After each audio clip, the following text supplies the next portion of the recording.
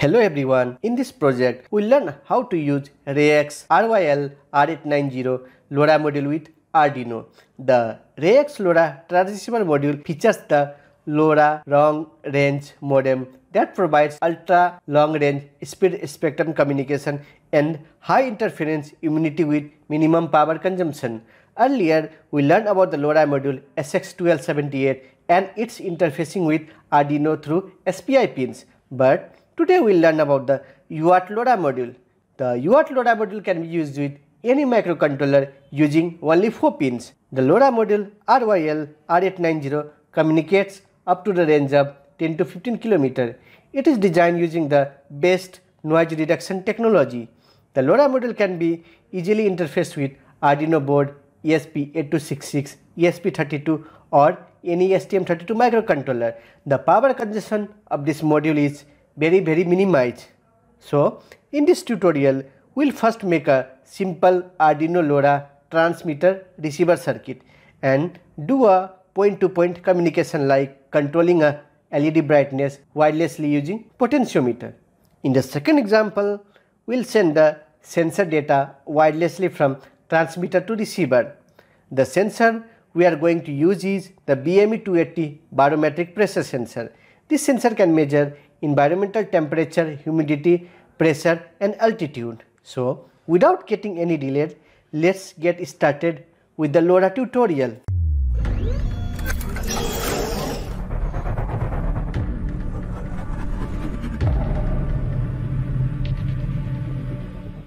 Now let us first learn about this LoRa module from Reyax Technologies. The LoRa module RYL R890 or RYL R896 from Reyax Technologies is based on Semtech LoRa chip SX1278 and STM32 L151C8T6 microcontroller from ST Electronics. The SX1276 chips operate on frequency of 868 or 915 MHz. If you remove the outer covering on this board, you will see that the SX1278 chip is interfaced to STM32 L1 microcontroller via SPI pins. The Reyax RYL R890 LoRa module can be easily interfaced with Arduino using the UART pins. The module is breadboard friendly and operates between 2.8 volt to 3.6 volt. It has a very small copper antenna with greater noise immunity for long distance wireless communication. You will at least need a pair of LoRa module or many modules for establishing wireless communication. There is a list of AT command that can be used to perform any task like sending the data or receiving the data or putting the device to sleep mode. You can learn more about the AT commands from the technical AT command documentation. I have attached the documentation part in the website article. So in this video, I have assembled the LoRa module with Arduino Nano on breadboard. You can use a custom designed PCB for this application. Now let's go through the product specification. So it is based on Semtech SX1276 chip and it has a excellent blocking immunity. The receiver current is very low and it is having a very high sensitivity of minus 148 dB. It is controlled via AT commands. It has a RSSI of 127 dB and it has a very small antenna that is integrated in the PCB itself. The data encryption is very good and is of AES 128. As explained, the LoRa module is having a UART interface and operates on the frequency of 868 or 915 megahertz. So its application includes the IoT applications and it can also be used in mobile equipment or home security system. Uh, in industrial application you can use this for mon monitoring sensor data and for controlling the equipment. It can also be used as car alarm and so many other applications. Here is a front side and back side of the LoRa module. So on the front side you can just see two chips that is a Reyax chip and the STM32 chip. On the back side it has a reserve position for LED and register and also for the SMT1 connector and when you see the pins it is having a 6 pins. So in the block diagram you can see the STM32 processor is uh, connected to a LoRa module via SPI pin and then the one processor that is STM32 processor can be connected to other processor using TX, RX and NRST pins. So in the specification you can see the power supply is between 2.8 to 3.6 uh, with the typical voltage of 3.3 the RF output power is minus 4 to 15 dBm. The RF sensitivity RF input level the operating frequency and the frequency accuracy everything is given here. The communication range is minimum of 4.5 kilometer to 15 kilometer as a maximum. That depends upon the RF parameter the transmitter current is 43 milliampere receiver current is 16.5 milliampere and the sleep current is around 0.5 microampere. All other details like digital input level digital output level cycling uh, and uh, weight operating temperature everything is given. You can go through the data sheets to learn more about this LoRa module. Now let us go through the first example in the first example we will control the LED brightness wirelessly using a potentiometer. So here is the transmitter circuit. We have a potentiometer attached to anode pin of the Arduino and the LoRa TX and RX pin is connected to pin number 2 and 3 of Arduino via software serial. We have used a 4.7K and 10K resistor to form a voltage divider network as, as Arduino has uh, 5 volt output pins but LoRa supports 3.3 volt.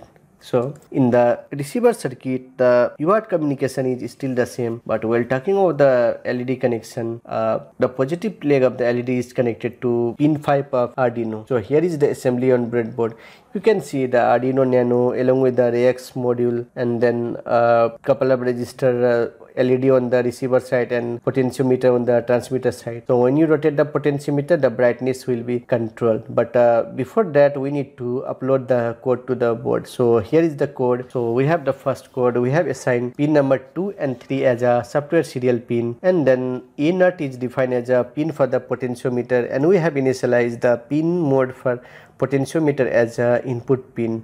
In the loop function, we have mapping the value from the potentiometer to the range of 0 to 255 and then the, we are just uh, assigning a string and using the at plus send equal to 0 function we are sending the value of uh, potentiometer from the LoRa transmitter to LoRa receiver. On the receiver side we are again using the software serial and we are assigning the LED pin as 5 and initial value of LED pin is 0 and we are initializing the LED along with the LoRa and then if the LoRa string is received then the LED brightness and will increase and decrease on the basis of the data that is received from the transmitter module.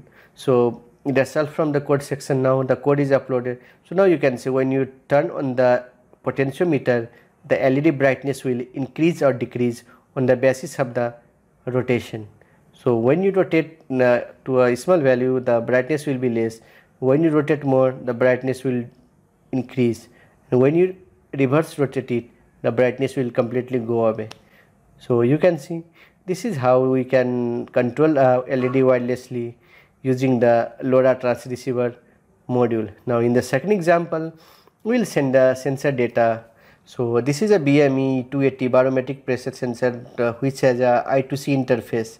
So here is a connection we have connected the SCL pin to A4 of Arduino and SDA to A5 of uh, Arduino and the connection for the LoRa is still the same as on the receiver side no sensors are connected only there is a connection between Arduino and the LoRa module that is a UART communication. So here is the assembly on breadboard.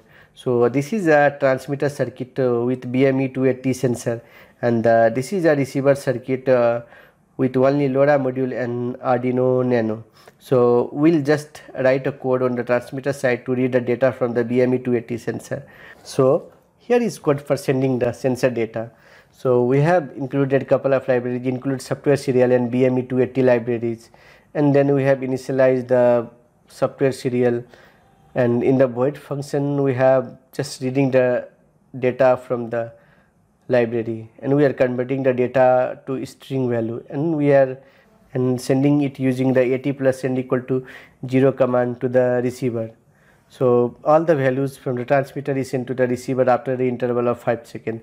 On the receiver side um, we are doing nothing but uh, waiting for the packet to receive from the transmitter. And then the packet is printed on the serial monitor. Now let us see the demo for this project. So after uploading the code just open the serial monitor on both the side. That is on the transmitter and on the receiver side.